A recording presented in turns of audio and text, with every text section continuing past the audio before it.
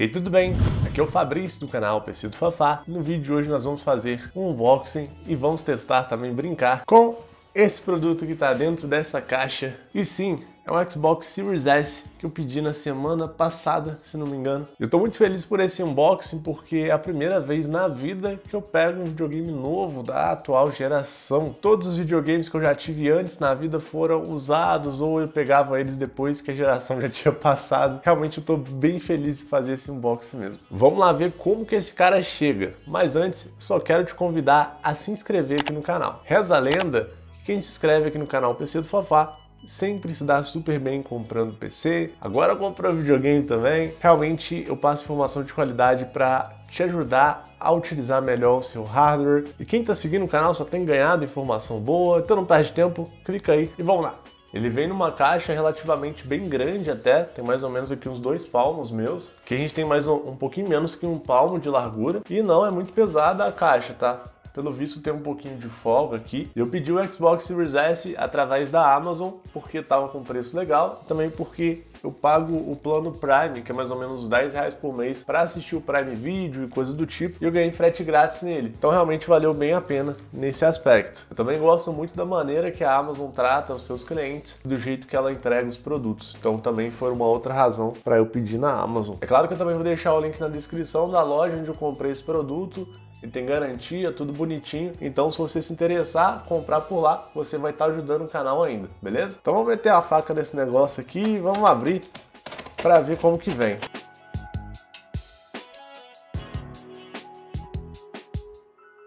Agora é a hora da verdade, vamos ver como que o Xbox Series S chega, né? Caraca, eu tô felizão, tá? Tô felizão, tô doido pra jogar já. Tô muito malucão pra jogar.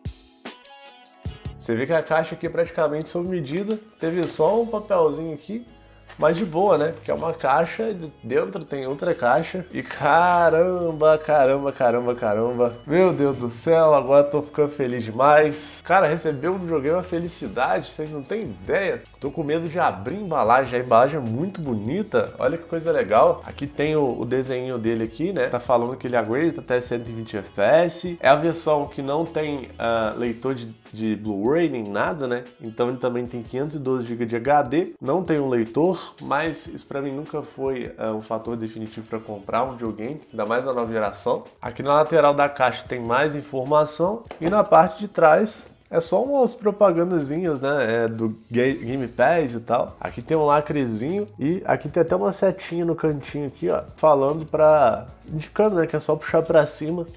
Vou puxar aqui. Tomara que não, não danifique a minha caixa. Eu vou puxar é nada porque eu tô achando que vai sair aqui a tinta, eu quero conservar a caixa, vou só cortar aqui. Mais fácil, né? Eu gosto de ter as caixinhas dos negócios. Agora sim vamos conseguir arrancar esse carinha da caixa. Parece que é só puxar para cima aqui. Vou com cuidado ainda assim, né?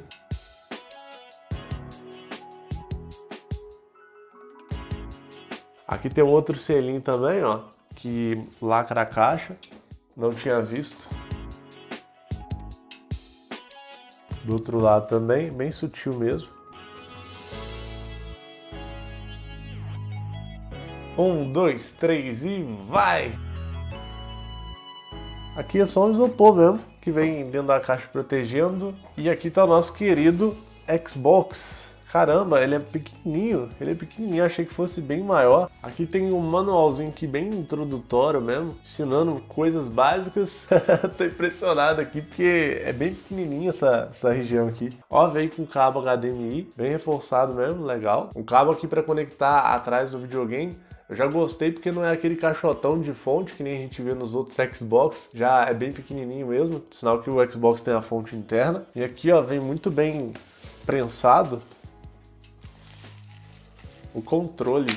Gente, estou muito feliz. Quem diria eu comprando um Xbox que a gente tem as pilhas e aqui está o controle. Olha como que ele é bonito. Caraca, ele é macio. Eu tenho a sensação que ele é um pouquinho menor do que pelo menos o 360 que eu tenho aqui. Nosso direcionável parece que é bem preciso, que é a bundinha dele, ó, tem a, a entrada de onde a gente pode colocar a pilha e aqui em cima tem uma conexão tipo C, ou seja, tu consegue usar um, um cabo de celular para conectar nele. Por sinal, estou sentindo falta do cabo acho que não vem. Aqui embaixo também tem uma saída de áudio P2 para conectar fones de ouvido e aqui também uma saidinha, né, para você conectar dispositivos que vão ser acoplados ao ao seu controle, como por exemplo mini teclado, coisas do tipo. Já vou abrir aqui a tampinha e colocar as pilhas, né? E tá aqui as pilhas já colocadas. Eu acabei comprando pilhas recarregáveis da Duracell, acabei pagando 40 reais em duas pilhas da Duracell tem a qualidade muito boa e comprei barato assim por conta do Amazon Prime. Veio frete grátis, bonitinho. Vamos remover aqui essa estruturazinha que vem protegendo ele. Ele não tem tanta proteção assim, até porque ele já estava dentro da caixa, né? Então você assim, não precisa de mais nada. E assim, nossa, realmente é muito pequenininho. Olha, o meu palmo já praticamente tampa ele inteiro.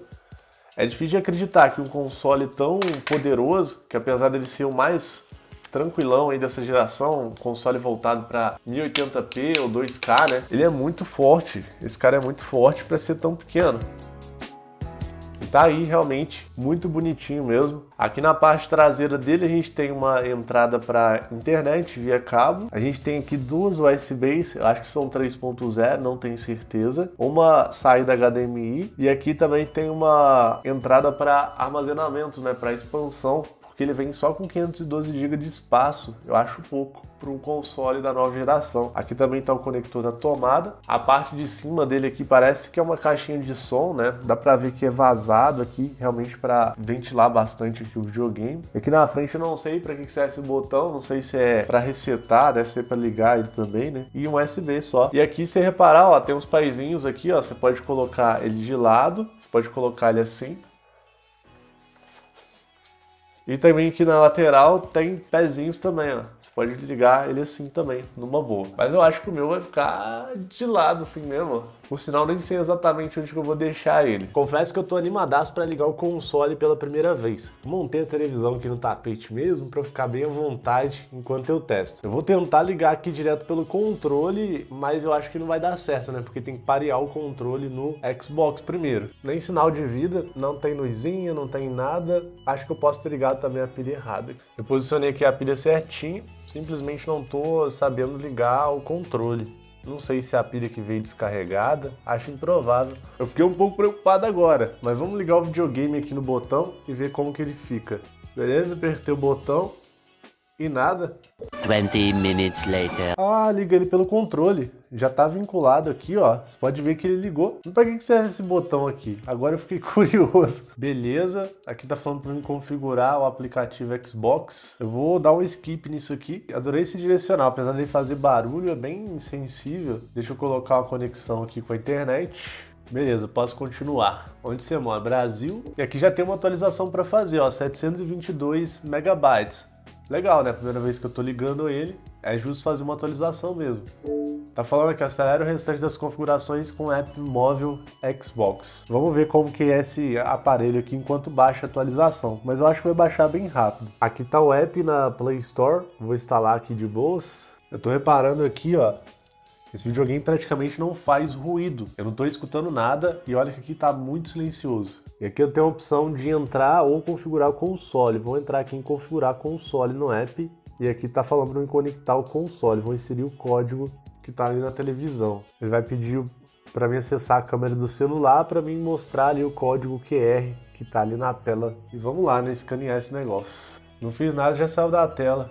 Aqui está pedindo para eu pôr a conta da Microsoft. Vou colocar. Coloquei minha conta, o Xbox ele reiniciou, porque está atualizando, e aqui está falando que lê o código QR na tela. Não está aparecendo nada na tela por enquanto, então vou ignorar. Aqui também está falando para inserir esse código na TV, mas não dá para inserir porque ele está atualizando, então não tem jeito. Acaba que eu tenho que esperar. Não agiliza tanto o processo eu usar esse app. Ou demorei demais para colocar os dados, sei lá.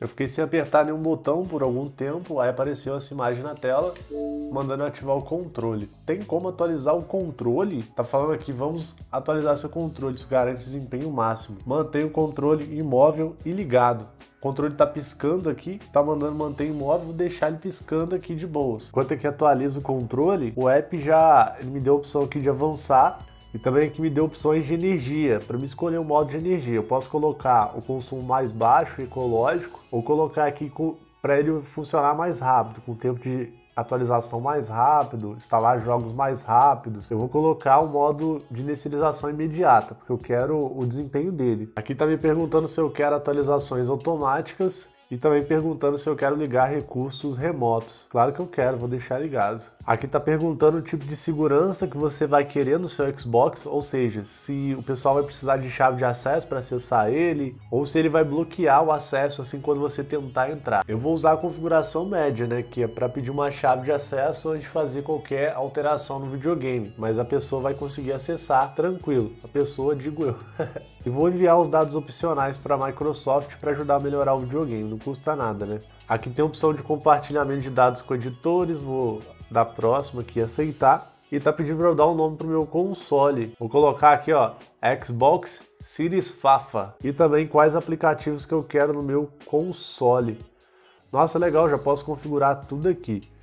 Então, olha só, eu quero o YouTube, já vou instalar o Prime Video, porque eu vou assistir também, Netflix, Dá para instalar o Code nele, nossa, o Code é muito bom, porque o Code é muito aberto, né? Dá para instalar uma série de coisas dentro do Code. Vou instalar também o Code, então. Eu pulei aqui sem querer algumas etapas da configuração, porque eu achei que a câmera estava filmando e não estava nada. Mas depois que o controle atualizou, eu confirmei e apareceu uma série de políticas e tal, eu fui aceitando e, e pronto não teve muita coisa. E que agora tem uma configuração importante, que é a configuração do Xbox Game Pass, né? Porque esse console ele funciona muito bem se você tiver um plano para ter vários jogos. O melhor plano que a gente tem nesse console é o Xbox Game Pass Ultimate. Ele tá R$ 44,99 por mês, ou seja, 45 reais por mês. Primeiro mês você paga 5 reais. Você tem acesso a mais 100 jogos na Microsoft. Eles estão sempre renovando o catálogo. Se não me engano, todo mês você ganha quatro jogos. São dois retrocompatíveis, ou seja, do console anterior. Pode ser do 360, do Xbox One. Depois eu vou ver se tem como eu pagar um pacote, né, para ver se fica mais barato, por exemplo se eu pagar vários meses de uma vez. Então vou aqui colocar em não obrigado. Olha, eu posso usar a minha voz para ligar o Xbox. Interessante. E também parece que ele atualiza enquanto está desligado nesse módulo aqui de inicialização imediata. Eu vou deixar assim, mas provavelmente depois eu vou acabar pondo no modo economia mesmo. Aqui está perguntando se eu quero atualizar os jogos automaticamente. Quero, claro. E finalmente vamos começar a usar esse cara, vamos lá. E estamos aqui na página inicial do Xbox. O que, que eu faço aqui, gente? a loja é exatamente idêntica à loja do Windows mesmo. Vou baixar um jogo gratuito, né? Depois a gente assina Game Pass e tal. Aí eu faço um vídeo review falando sobre isso. Aqui até apareceu de cara, né? Nos jogos gratuitos o Rocket League. A gente tem aqui o Fortnite, Roblox. E realmente a gente já tem uma opção bem legal de, jogos grátis aqui bastante opção mesmo. Tem War Thunder, tem Walking Dead, ó, tem o Smite, o Kill Instinct. Nossa, tem, tem muita coisa no Game Pass disponível também. Legal que tem vários jogos antigos também, e são jogos bons, né? Crysis 2, Crysis 1, Crackdown 3, tem muita coisa, Dantes Inferno. Eu vou baixar aqui o Call of Duty Warzone, que eu gosto muito de jogar ele, e vamos obter ele gratuitamente. Você pode verificar o status da instalação em meus jogos e apps. Beleza. Se eu apertar o menu aqui, ó, ele vai, ó, para meus jogos e apps. Vamos ver o que, que dá para personalizar. Consigo personalizar o guia, a cor do tema, eu consigo personalizar. Deixa eu ver aqui, opções de TV e vídeo, o que, que a gente tem. A gente pode calibrar a televisão. Aqui a minha televisão é 1080p, então só tá me dando duas opções aqui, 1080p 720p. Aqui tem a opção HDMI SEC. O, outros dispositivos podem desativar o console. Ele ativa o comando de volume, também quero. E o console também desativa os outros dispositivos. Legal, legal essa opção. Aqui a gente também tem o modo avançado, tem aqui modos de vídeo, permitir 50 Hz, permitir 24 Hz. A minha TV não tem muita configuração, então realmente não tem o que fazer aqui. DVI ou HDMI, vou deixar automático mesmo. Vou colocar aqui 36 bits por pixel, 12 bits. Espaço de cores, vamos deixar o recomendado mesmo. Beleza, as configurações aqui de vídeo são todas essas que a gente tem. Deixa eu ver as configurações de som, saída de volume e áudio. A gente tem aqui o mixer de bate-papo, beleza, esse daqui é para jogar online. Saída de som, no caso aqui headset ou alto-falantes. Áudio do alto-falante, ou tem até 7.1 aqui. Vou deixar no modo estéreo, porque é o da minha televisão mesmo. Áudio do fone de ouvido, a gente pode escolher. Tem o Dolby Atmos, que é uma tecnologia para deixar o som com efeitos e tal, não sei o que, que ele faz exatamente. E tem esse daqui, DTS Headphone X. Vou deixar aqui estéreo não compacto também.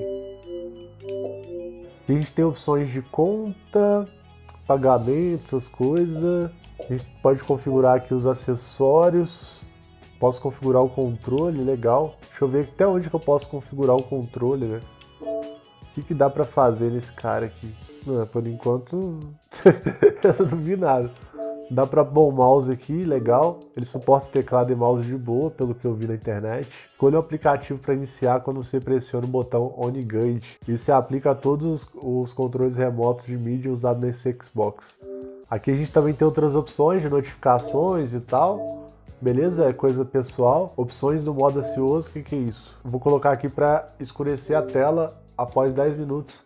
Permitir capturas de jogo, tá, legal, gravar o que aconteceu durante 30 segundos, eu vou colocar aqui um minuto, né? Vamos supor que você tá jogando e acontece um negócio mó legal, aí você quer salvar, carregar minhas capturas, beleza. Resolução do clipe, vou deixar 1080p, gravar aqui um minuto. Local de captura, por enquanto, armazenamento interno. Compartilhar, altera o que o botão compartilhar faz. Ó, legal, eu posso ativar, desativar, alternar gatilhos também, um monte de coisa. Vamos ver o que, que a gente tem nos meus jogos e apps. Vou aqui nos aplicativos. A gente tem um navegador de internet aqui já, ó, o Microsoft Edge. Eu vi na internet que dá para fazer bastante coisa com ele, inclusive rodar jogos da Steam no GeForce Now, tá? Achei bem interessante essa parte. Vou acessar aqui o YouTube. Vamos ver como que dá para navegar com Edge usando essa plataforma. Ah, bem de boa, de boaça. Vamos ver se eu acho meu canal aqui. Aí eu aí, ó, pareci rápido, pareci tranquilão. E assim, eu acho que com o app deve melhorar um pouco. Aqui ele abriu em HD e tal, mas eu percebo que não tá aquela qualidade topzera, sabe? O Call of Duty Warzone tá dando aqui que já tá pronto para iniciar. Então já dá para fazer alguma coisa no jogo. Vamos ver como fica. Vocês viram aqui, né? Eu tentei conectar e não foi possível porque eu não tenho Xbox Live, então tem que assinar, não tem jeito não. Como já tinha configurado o celular, aqui já tem alguns apps instalados, como por exemplo Netflix, YouTube, até que é bem prático e rápido usar o Netflix aqui. Vamos ver como que abre aqui, se qual qualidade que abre. Nossa, top demais. Para conectar na televisão, para assistir filme também, ó, tá perfeito. Tem um detalhe que eu esqueci de olhar que realmente me preocupa bastante. O console ele tem 512 GB de SSD no armazenamento principal. Desses 512 GB, ele só tem 364 livres, ou seja, o próprio videogame consumiu um monte de giga já. Eu só estou instalando aqui o Call of Duty Warzone e já ocupei cerca de 27% do console, né? Ou seja, não dá para instalar muito jogo com o tanto de armazenamento que ele tem. Aqui está falando também que eu posso adicionar um armazenamento externo, mas precisa de ser um armazenamento USB 3.0 para poder salvar jogos e aplicativos. Um outro detalhe que eu já sei sobre isso é que você consegue colocar jogos do Xbox One no HD externo, jogos do Xbox 360, mas os jogos da nova geração mesmo só vão instalados no armazenamento principal dele. Então, assim, provavelmente a Microsoft vai lançar uma atualização ainda em relação a isso, espero que sim. Mas para mim essa é a principal falha desse videogame, mas isso também faz com que ele fique bem barato, né? Então, se você quiser mais armazenamento, se adiciona depois e tudo bem, né? É melhor uh, enxugar o preço assim e eu poder colocar espaço depois do que o videogame ficar super caro e a gente não ter opções, né? Eu acabei pagando uma assinatura da Game Pass por um mês, aquela assinatura de 5 reais, e agora liberou acesso para jogar online, fazer o que eu quiser. Agora eu vou entrar uma partida aqui do Call of Duty, vou puxar aqui o modo saque e vamos ver o desempenho que esse cara tem, né? Como que vai ser jogar também no controle e tal. Tem como até conectar o teclado e mouse ali. Observando os gráficos aqui, para mim não tá muito diferente do PC que eu tô acostumado a jogar. Beleza? Começando aqui o jogo. Legal, a queda aqui tá bacana. gráfico do jogo, muito belo. Nossa, que delícia é, o, esse controle aqui. Você sente o, a vibração no gatilho. Muito bizarro. Nossa, o cara me atirou, eu senti de onde veio o tiro. Muito bacana, cara. Eu não sei explicar, mas dá para sentir as vibrações aqui, ó. Tem de um lado, do outro. E o controle também é um pouquinho áspero, ó. Ele encaixa bem na mão. Tem umas coisas aqui para mexer, ó. Alguns gráficos, igual perca de foco, deixar o minimapa quadrado. É, no gráfico aqui eu não sei como mexer ainda. Eu sei que tem como sim, tá? Mexer por fora ali. Para ver se a gente pega mais FPS, acho que tem como. Tava querendo só estender o campo de visão para enxergar um pouquinho mais as laterais aqui, mas eu acho que não tem essa opção aqui no Xbox. No PC a gente tem essa opção e para mim faz bastante diferença. Bom, é notável assim ao jogar que o jogo está bem estável, né? É também é um videogame, né? Tem que estar tá estável. Dirigir aqui eu não sinto a, a, vibração, ah, só na hora que o carro caiu aqui e tal, mas nada tão pesado assim, né? A ponto de eu sentir o motor do carro, essas coisas, não. Na hora que ele passa no morro, sim. Mas é estranho, assim, que dá pra. Tem, uma, tem alguns momentos aqui que eu sinto literalmente a textura do solo no meu dedo. Não sei como que eles conseguiram reproduzir um negócio doido desse. Basicamente o vídeo de hoje foi esse, eu queria passar as minhas primeiras impressões ao ligar o Xbox One S. Por enquanto eu não tenho muita coisa para falar sobre ele, eu vou usar um pouco mais ele vou lançar um review aqui no canal. Espero que você tenha gostado do vídeo, foi para ser uma coisa bem caseira mesmo, bem simples para mostrar como que eu liguei, configurei e tal. Se você gostou do vídeo, eu peço aí para você deixar o joinha para dar aquela fortalecida aqui no canal. Eu vou ficando por aqui, um abração e até mais, viu?